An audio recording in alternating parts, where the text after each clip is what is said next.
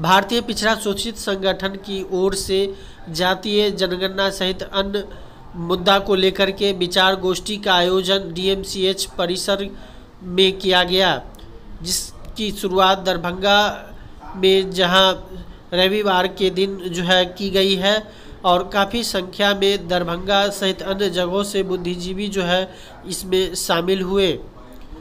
वहीं बिहार के जाति जनगणना की मांग की गई जो बिहार में होनी चाहिए।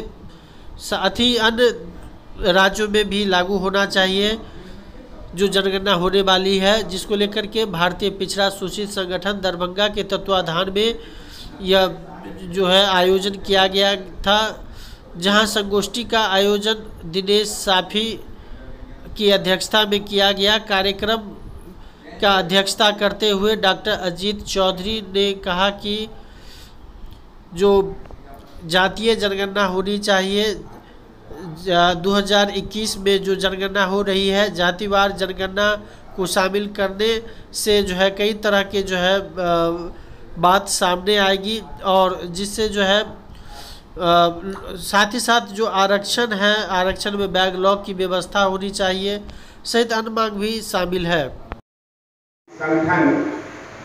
उन सबों के सहयोग से अपने कार्यक्रम को आगे बढ़ा रहा।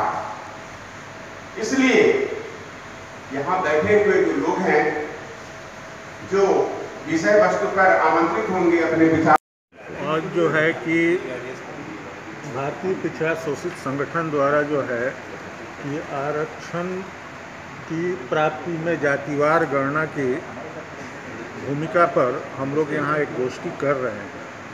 जैसा कि सभी जानते हैं कि पिछड़ा समाज सदियों से पिछड़ापन और उपेक्षा का दंश झेलते आ रहा है, तथा गरीबी भी साथ साथ उनका पीछा नहीं छोड़ रही। आज के परिवेश में भी पिछड़ा गरीबी झेल रहा है। उनके, उनका उत्थान जो है कि त्वरित गति से नहीं हो पा रहा है, वो समाज के मुख्य धारा से आज भी कटे हुए हैं। इसके निदान के लिए हम लोग यहाँ पर विचार गोष्ठी में विचार विमर्श करेंगे और हमारा जो है जनगणना शुरू होना है 2021 में। इसमें हम लोग पिछड़ा जाति के आंकड़ों के लिए हम लोग मांग करेंगे सरकार से कि जातीय जनगणना कराई जाए ताकि पिछड़ों का आंकड़ा मिल सके और उसके अनुरूप जो है उनके, उनको भी आरक्षण प्राप्त है, आरक्षण का लाभ दिया जाए ताकि जो है समाज विकसित हो